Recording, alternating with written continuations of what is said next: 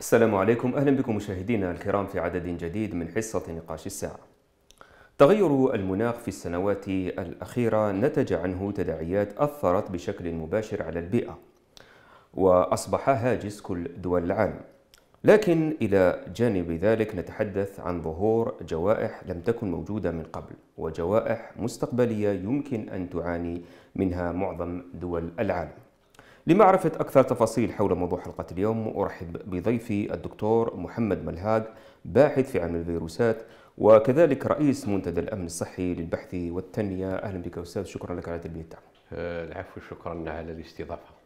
أكيد دكتور ملهاق إذا نتحدث أولا يعني عن الحديث عن جوائح يعني التي ستكون مستقبلا.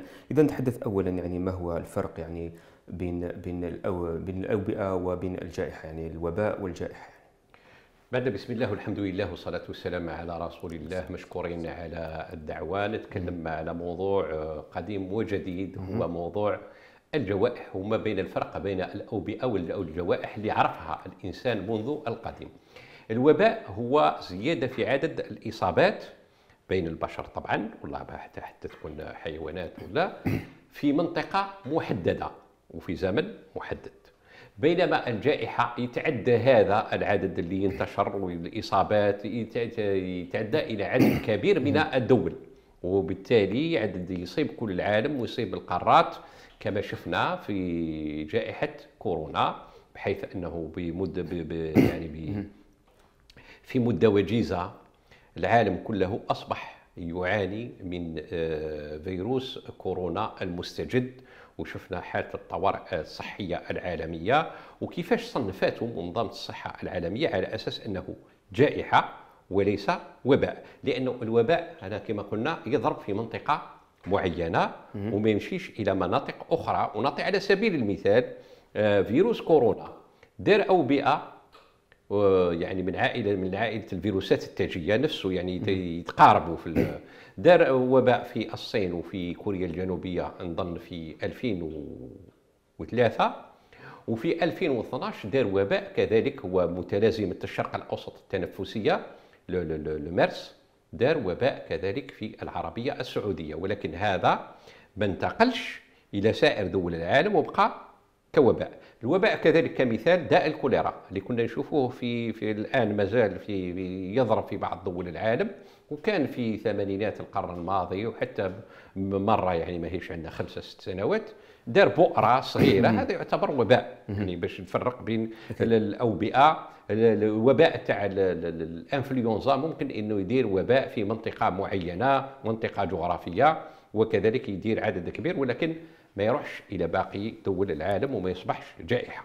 أكيد يعني إذا حدث تحدثنا على وباء كورونا أكيد وباء كورونا يعني جائحة ضربت كل دول العالم، كل دول العالم عانت من هذه الجائحة وأثرت كما قلت على الأمن الصحي بالنسبة لكل دول العالم وحتى اقتصاديات معظم الدول وحتى على الحالة الاجتماعية وغير نمط حياه المواطنين في كل العالم. نتحدث أستاذ يعني الآن على ما يدور أو الحديث عن الاجتماع الذي يعني يتم في مبنى منظمة الصحة العالمية. يعني على ماذا يجتمعون وعلى ماذا يعني هذه المجتمعات الماراثونية التي يعني عندها سنوات هم يجتمعوا من أجل ماذا والهدف من ذلك؟ اولا كما سبق ذكره هو أنه مفهوم الصحة والجوائح ما أصبحش محلي. يعني اصبح عالمي. لأنه الآن كما ذكرت في التقديم تاعكم هناك تغيرات تاع المناخ هناك الجوائح اللي تضرب والدول شفنا تجربه تجربة جائحة كورونا علمتنا بأن المشكل عالمي. ماهوش مشكل تاع دولة وحدها. وشفنا كيفاش كامل دول العالم اجتمعت ودخلت إجراءات وشنو هو ظهرت اختلالات خلال هذه الجائحة بين الدول. الغنية والدول الفقيرة. وشفنا بينها بعض الدول ما كانتش عندها إمكانية باش تجابه جائحة كورونا على هذه اللي الخبراء والعلماء وحتى السياسيين والحكام عبر دول العالم يفكروا الآن إيجاد آلية دولية وبميثاق دولي يعني بقوانين الآن عندنا اتفاقية دولية في طور التحضير باش نتفاداو اولا الجوائح. أول شيء راح تعمل عليه هذا هو وقائي كيفية الوقاية. ثانيا حتى إذا كان حدثت الجائحة راح نكونوا عندنا نكونوا قللنا من آثارها. يعني نحو عنصر المفاجأة نكونوا مستعدين. أكيد. كيفية الحماية. الحماية مهمة جدا وهنا اللي تتطلب تضافر الجهود جهود كل دول العالم باش ما نزيدوش نوقعوا في نفس الأخطاء اللي وقع فيها العالم في جائحة كورونا. وإذا كان شفتوا كان عندنا عندنا الوصول إلى اللقاح. ماشي كل الدول كانت قادرة للوصول إلى اللقاح. صح. كمثال الجزائرية الجزائر فعلت الدبلوماسية تاعها الصحية باش وصلنا باش جبنا اللقاح مع الدول الأوائل. يعني حتى أصبحنا إنه حتى بالفلوس تاعك إنه كاين كان كاين احتكار. بعض الدول شريت خمس مرات وكنا نددنا به في حينه قلنا بأن هذا ماهوش من باب الإنسانية أنك أنت تشري خمس مرات صح. احتياجاتك ودول واحدة أخرى ما تقدرش تشتري اللقاح. ولا ما توصلش حتى اذا كان ما تقدر حتى اذا كان عندها أموال ما تقدرش توصل. وبعض الدول ما عندهاش أموال أصلا. وهذا كان يأثر على الصحة العالمية وكباحثين في علم الفيروسات كنا نقولوا اللي بقات لك بؤرة في دولة فقيرة يعني أنت ما راحش تقضي على الجائحة.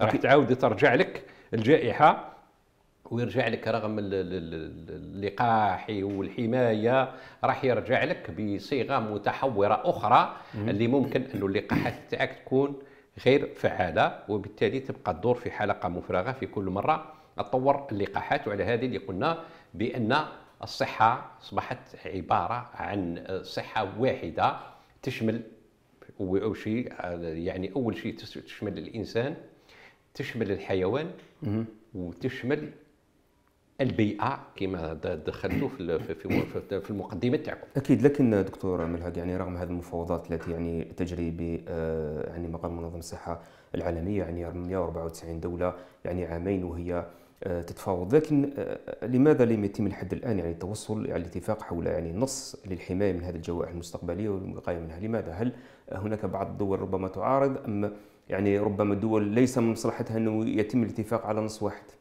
آه، بطبيعة الحال لما تظهر المصالح هناك مصالح تاع الدول هناك مصالح تاع الدول الفقيرة اللي تدافع تقول الوصول إلى المعلومة الوصول إلى الأبحاث فيما يخص مسببات الأمراض لأن هذه ممكن تكون مسببات. الوصول إلى اللقاحات بعد ما نشخصوا المسبب l'agent causal يعني l'agent pathogène. هذا لما نشخصوه لازم نكونوا نعرفوه الدول هذه الفقيرة تقول. يكون عندنا وصول إلى وسائل الكشف يعني ال diagnostic الوسائل اللي شفناها في دول واحدة أخرى وسائل الكواشف والامكانيه تاع التشخيص. كذلك الوصول إلى الدواء. الدواء لازم دول فقيرة تكون توصل ويكون يعني تكون فيها عدالة في الوصول. مؤخرا هو الوصول إلى اللقاح وعندنا تجارب تاع اللقاح اللي ما كانش توصل للدول الفقيرة. آه هذا باش باش باش يكون الآخر باش نوصلوا لهذا. يعني يكون هذا الشيء متاح للجميع. الدول الغنيه عندها مصالح واحدة أخرى يعني ومن بينها هو يعني الاكتشافات ولا les brevets d'invention هذه كل الأبحاث يعني محمية بالقانون بقوانين ونعرفوا باللي un produit pour qu'il tombe dans le domaine public il faut 20 ans يعني دواء ولا لقاح محمي بالقوانين الدولية يلزم لها 20 سنة باش الدولة باش انت تقدر تصنعوا ان جينيريك وهذا نعطي مثال على الأدوية هنايا.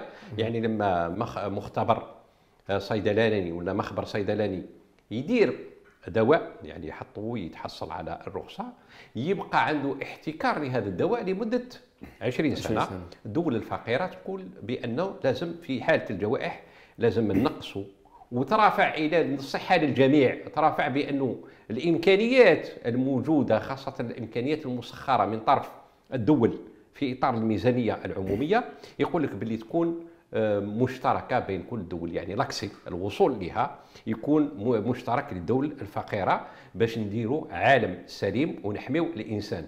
بالإضافة إلى هذا إلى الصحة مرتبطة كذلك الآن بصحة الحيوان بالصحة الحيوانية.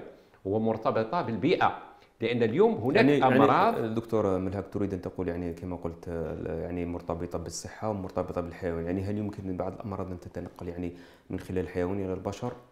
آه، نعم. الآن المنظمة الصحة العالمية المنظمة العالمية للصحة الحيوانية تقول بأن الأمراض الناشئة لأنه كاين أمراض راها تجي جديدة كنا ما نعرفوهاش السابق. هذه ما يسمى الآن بأمراض العصر ولا أمراض المرتبطة بالحضارة ولا كاين يسميها الأمراض المرتبطة بالبيئة كاين تسميات ولكن هي نفسها هي أمراض جديدة. يقول لك بأنها 60% راح تكون حيوانية المنشأ. بما معناه؟ أنها تنتقل من الحيوان إلى الإنسان. الشيء الثاني اللي تأكد عليه المنظمة العالمية للصحة تقول بأن 60 إلى 70% من الأمراض راح يكون منشاها حيواني. وحنا نعرفوا بأن آه، منشاها عفوا منشاها فيروسي. فيروسي. يعني أن تسبب فيها الفيروسات. بالاضافه إلى الحيوانات. يعني راح الفيروسات تنتقل من الحيوانات إلى الإنسان. وحنا نعرفوا بأن كاين هناك النوعية يعني la spécificité de l'espèce. كاين الفيروسات تاع اللي تقيس الإنسان بسطو الفيروسات اللي تصيب الإنسان ما تصيبش الحيوان. الفيروسات اللي تصيب الحيوان نظريا ما تصيبش الإنسان. في حالات نادرة الفيروس ينتقل من الحيوان إلى الإنسان وهذا ترجع إلى عدة عوامل بيئة إلى إلى آخره والطفرات ينتقل إلى الإنسان. وقتاش يولي خطير. ممكن يقيس إنسان ويشفى. الخطورة تكمن لما ي développe des caractéristiques inter-humain يعني يصبح قابل للانتشار أو الانتقال بين البشر. يعني يصبح الإنسان الخاصية تاعو من الحيوان ما يصبحش حيواني يصبح عنده خاصية الانتقال بين البشر وهذا ما ذهبت إليه النظريات الحديثة فيما يخص جائحة كورونا. كاين عندنا إثباتات أخرى فيما يخص إنفلونزا الطيور بحيث الفيروسات من انفلونزا تاع الطيور انتقلت إلى الإنسان وصبحت تنتقل عند الإنسان. كاين انفلونزا الخنازير هذه في الجوائح مؤخرا اللي شفناها وأثرت وانتقلت. آه، العالم اليوم يتنبأ. هناك تنبؤ وتوقع بظهور جوائح جديدة. وعلى هذه اللي راه تضارب في المصالح. كاين دول اللي تحب آه، يكون فيه يعني لاكسي. لكل الوصول لكل الإمكانيات. بعدالة وكاين دول واحدة أخرى تقول بأن عندنا استثمارات كبيرة فيما يخص الأبحاث وفيما يخص حماية براءة الاختراع وبالتالي تحاول تحاول تحافظ على مكاسبها. تحدث عفوا عذرا عن المقاطعة دكتور محمد ملاك. تحدثت انه عن ربما ظهور أو احتمال أو توقع يعني جوائح مستقبلية وهذا اذا نستند يعني لتصريح من طرف مدير الصحه العالمية على ماذا يعني بان توقعاته وعلى ماذا استند؟ بالنسبة لمدير الصحة العالمية كان صريح وقال بأن الجائحة متوقعة ولا محالة الشيء اللي ما نعرفوش. هو الوقت توقيت هذه الجائحة. اذا على هذه اللي راه يدير اجتماعات ماراثونيه ومجمع 194 دولة في الجمعية العامة للصحة الجمعية اللي, اللي تكون أعلى هيئة بالنسبة لمنظمة الصحة العالمية باش يخرجوا بميثاق للحماية والوقاية. اذا إحنا مادام نعرفوا وهذا حتى إحنا كنا نرافع عليه في الأمن الصحي كنا نقول بأننا نتوقع وبصفتنا كباحثين في علم الفيروسات نتوقع ما دام منظمة الصحة العالمية تقول بأن المنشأ فيروسي منظمة الصحة العالمية للصحة الحيوانية تقول بأن المنشأ حيواني. هناك توقعات تنبؤات واستشراف لازم نستشرفوا. الآن هذه الجوائح ما نخلوهاش تباغتنا لأنه جائحة كورونا كانت مباغتة مفاجئة وأعظم دول العالم صح. حتى الدول الأكثر تقدم والأكثر تكنولوجيا كانت ما يعني ما عرفتش تتعامل مع الجائحة وشفنا الدليل العدد الهائل العدد الكبير من من الوفيات يعني شيء شيء مؤسف صح. الشيء اللي كذلك نتاسوا له إحنا كنا نرافعوا لهذا من مدة ولكن اليوم نشوف بأن العالم بدا ينسى بأن الجائحة ممكن آه، تبدأ في بلد فقير وتنتقل إلى دول العالم الغنية وعلى هذا يجب يجب إجراءات استباقية وحمائيه في كل كل دول العالم ويجب تنسيق من بينها الإنذارات المبكرة يعني لازم الرصد والمتابعة لكل الأمراض والجوائح بتعاون كل دول العالم. وهذا الشيء اللي راها تهدف ليه في هذه الاجتماعات الماراثونية المنظمة العالمية للصحة هو الوصول إلى معاهدة لاستشرافية واستباقية نقولها اولا للوقاية ثانيا للحماية من الجوائح المستقبلية المتوقعة. أكيد يعني هي كما قلت يعني مفاوضات ماراثونية من أجل الوصول إلى صيغة موحدة وتوافقات آه، بخصوص كما قلت مواجهة ما يمكن يحدث مستقبلا أو تداعيات ما يحدث من هذه الجوائح التي آه، يعني ضربت كما قلت كورونا والتي أثرت وكان لها يعني تأثير وكما قلت أنه عجبني الكلمة تاعك دكتور ملهاج أنه الآن العالم تناسى ربما ما حدث أو ما وما كان يعني وما تسبب في جائحة كورونا. إذا نتحدث أستاذ الآن على نقطة أخرى وهي يعني آه أنه الآن أصبح يعني إنشاء مراكز البحث يعني من ضرورة وأهمية خاصة أنه إذا نتحدث على الجزائر الجزائر يعني تملك يعني آه العديد من الخبراء وحتى المهتمين بمجال البحث في علم الفيروسات والبحث كذلك في مجال هذا الصحة من أجل تحقيق الأمن الصحي. يعني نقدر نقول باللي المادة الخام يعني في الجزائر متوفرة. ماذا ينقص أو لماذا نحتاج؟ هذا هذا هذا الشيء اللي تثبتوا يثبتوا الواقع. الجامعات الجزائرية اليوم تخرج آه، العشرات من الخبراء والآلاف من الباحثين في كل التخصصات ومن بينها التخصصات المرتبطة بميدان الصحة. لأنه الآن نعاود نأكد بأن الصحة ما بحثش خاصة بقطاع الصحة فقط. الأمن الصحي أصبح مرتبط مرتبط بعدة قطاعات. الفلاحة لأنه الآن واش ناكلوا واش نشربوا ممكن أنه يأثر علينا وهذا إن شاء الله نديروا موضوع الأمراض المرتبطة بالبيئة. نوعية المياه اللي نشربوها نوعية الماء اللي نوعية الهواء اللي نستنشقوه هذه كلها مرتبطة الآن. كذلك بعض الأمراض اللي راها تظهر اليوم الأمراض المتعلقة ب المرتبطه بميدان الصحة ومرتبطة بال مرتبطة بالبيئة c'est les maladies liées à l'environnement. كاين الامراض أمراض القلب والشرايين ظهرت في مدة آه، قصيرة يعني الآن أصبح كضغط الدم وكذلك آه، كل الجلطات الدماغية والسكتات القلبية إلى آخره. هذه أصبحت من مشاكل العصر وهذه تعتبر من الأمراض المرتبطة بالبيئة. داء السكري على سبيل المثال نذكر على سبيل المثال السرطان اللي حسب إحصائيات منظمة الصحة العالمية. يقتل 20 مليون آه، من البشر سنويا. وكاين في إطار الوقاية. كاين عديد من السرطانات اللي ممكن أننا نتفاداها لأنه كاين وقاية أولية ووقاية ثانية ثانية وكذلك عن طريق الكشف المبكر. الآن منظمة الصحة العالمية تهدف إلى الكشف المبكر وهنا في الجزائر بدات لعدة أمراض عملية الكشف المبكر على هذه الأمراض اللي تخلينا كمرحلة يعني تعتبر وقاية باش ما نروحوش للعلاج لأنه أحسن أحسن وقاية هي العلاج. آه، الوقاية خير من العلاج. أحسن. الوقاية خير من العلاج وأحسن علاج هو الوقاية يعني ما نوصلوش لمرحلة العلاج وهذا الشيء اللي نهدف عليه آه، ونخدم عليه خاصة في الأمراض الفيروسية المرتبطة بالفيروسات لأنه كما يعلم الجميع الفيروسات الأدوية ماهيش فعالة ضدها. يعني ماهيش الأدوية ماهيش فعالة ضد الفيروسات يعني الفعالية تاعها ما تعداش 50% كذلك اللقاحات الحيث يبقى السلاح الوحيد هو الوقاية. أولا عدم التعرض للفيروسات وبعدها يجي الوقاية عن طريق التلقيح. أكيد. هنا نرجعك للموضوع مم. ربما المخابر في الجزائر موجودة. الكفاءات العلمية موجودة. بالإضافة إلى الكفاءات الموجودة المحلية.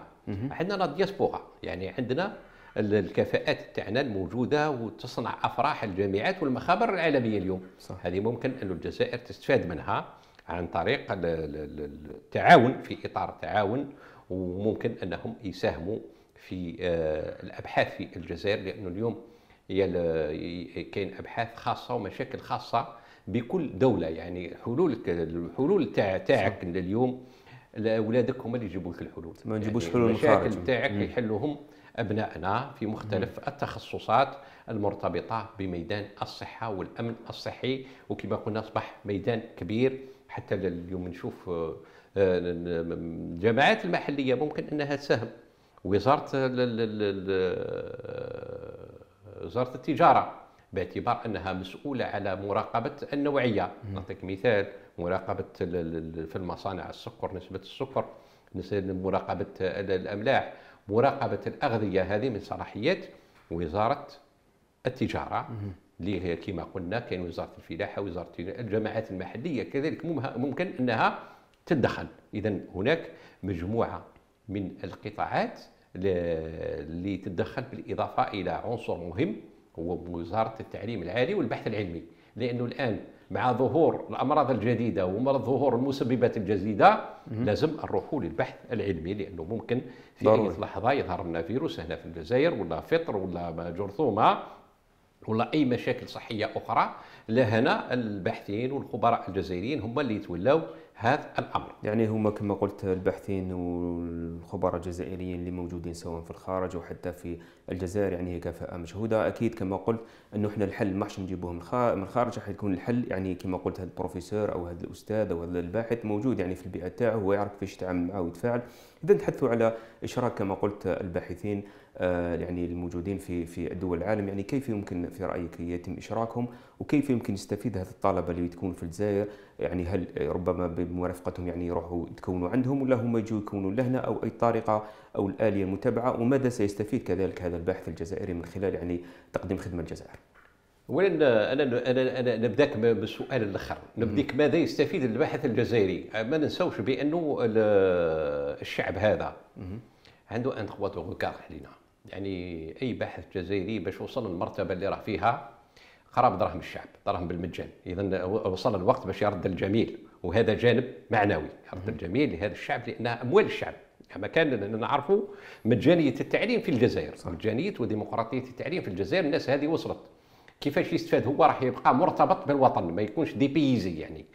الاستفادات المالية. ممكن أنه يستفاد استفادات مالية هنا في الجزائر. ممكن الدولة أنه الدولة الجزائرية عندها ميزانية للتعليم وعندها ميزانية للبحث. ممكن أنه يخلص. صح. الآن كيفاش يستفادوا نجيك الجانب الثاني؟ يعني مانيش الجانب الأول مانيش عنده امام لأنه لازم تكون باحث جزائري في برا باش تعرف. الآن لهنايا كيفاش يقدروا؟ الآن التكنولوجيا متطورة. يعني عن طريق ال vidéoconférence ممكن أنه يعمل محاضرات عندنا هنايا عن بعد. وحدة. اثنين أنه ممكن أنه يأخذ آه، ثلة من الجزائريين يعني مجموعة من الباحثين الجزائريين اللي أطرهم ويستضيفهم عنده في المخبر وكاين النقل للتكنولوجيا. هذه كلها ممكن أنها تساهم. كذلك هنا ثالثا وممكن انه يكون فيه مراكز متخصصة خاصة فيما يخص الجانب الكلينيكي جانب آه، الجانب السريري. ممكن أنه أطباء جزائريين ممكن انهم يجوا لهنا ينقلوا التكنولوجيا وممكن أنهم يجي يوم يومين أسبوع يدير مجموعة من العمليات عالية الدقة لأنه الإمكانيات ممكن تكون موجودة. وبالتالي هذا يخلي يخلي الباحثين الجزائريين يستفادوا. وهذا الشيء اللي كنا أكدنا عليه في وسائل الإعلام فيما يخص المستشفى الجزائري الألماني القطري اللي قلنا راح يمكن الباحثين الجزائريين هنا باش يستفادوا ويمكن النخب تاعنا اللي في الخارج ممكن إنها تساهم في هذا النوع لأنه هذا النوع من المراكز المتخصصة مسيرة تسيير عصري وعندها إمكانيات آه، كبيرة. خاصة كما قلت دكتور ملهاج إنه يعني اشراك الباحثين سواء في الخارج أو الداخل أصبح أكثر من ضرورة يعني لإيجاد لإيجاد الحلول يعني العالقة وحتى المشاكل التي يمكن أن تنشأ. يعني دكتور ملهاج يعني كسؤال أخير يعني نتحدث على نقطة مهمة أنه الآن يعني خاصة ما يحدث من مجريات في العالم أصبح هناك صراع بين الدول القوية الدول الفقيرة الدول النامية. يعني من أجل يعني آه، خاصة كما قلت ربما احتكار بعض الدول لهذه التكنولوجيا. يعني التكنولوجيا كيف يمكن الحصول عليها؟ هل يمكن شرائها؟ أم يمكن يعني آه، من خلال يعني تبادل الخبرات؟ أو يعني آه، نتحصل على الانتقال التكنولوجي أو نقل التكنولوجيا إلى الجزائر. التكنولوجيا شرائها يمكن ولكن ما تخدمش وحدها لازم لك كفاءات. كفاءات لتسير هذه التكنولوجيا والشرط الوحيد اللي, اللي قبل من الوصول للكفاءات والتسيير هو الأموال. يعني c'est le nerf de la الدراهم هما هما كل شيء. هذه الدول الفقيرة تقول بأن ما عندهاش الإمكانيات المادية ما عندهاش أموال باش تشري التكنولوجيا ولا باش تشري هذا وبالتالي ترافع للوصول العادل لهذه التكنولوجيا ولهذا الإمكانيات سواء تعلق الأمر بالأدوية أو اللقاحات. صناعة اللقاح ماهيش يعني متاحة لأي دولة. خاصة يعني الجزائر يعني صلحة لقاح كورونا نعم. صناعة صناعة خاصة اكتشاف اللقاحات لأنه تطلب الجميع يعلم بأن صناعة اللقاح يتطلب العديد من المراحل المرحلة المخبرية يعني التجارب المخبرية ثم التجارب الحيوانية على الحيوانات ثم التجارب السريرية على البشر ثم تجي المرحلة الإدارية ومرحلة الاعتماد من طرف منظمة الصحة العالمية. إذا صناعة اللقاح في في المتوسط تكون بين خمسة وعشر سنوات.